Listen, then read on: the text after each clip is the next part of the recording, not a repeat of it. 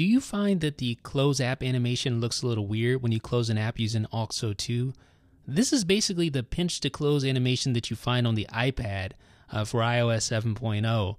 And some of you may think it looks a little strange or a little bizarre. Um, I'm not sure. I, have never really paid too much of attention, too much attention to it, but um, apparently this is a pretty big deal.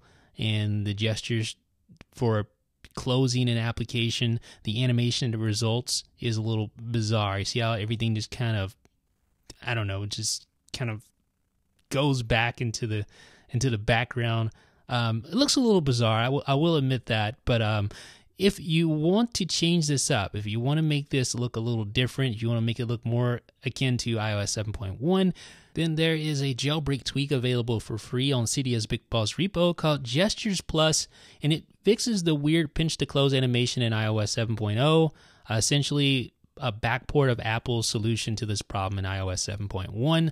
So basically, it gives you the iOS 7.1 pinch to close animation just like that on iOS 7.0, which is of course jailbreakable. So this works uh, obviously with Auxo 2 because it has that pinch to close animation, so to speak, uh, when you slide up from the right bottom right hand corner of your device.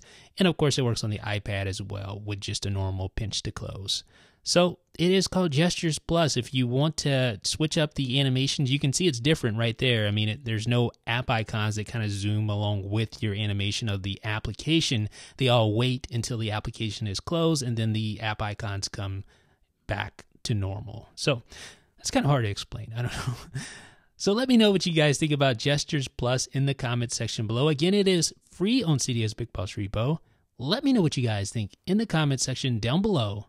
This is Jeff with iDownload Blog.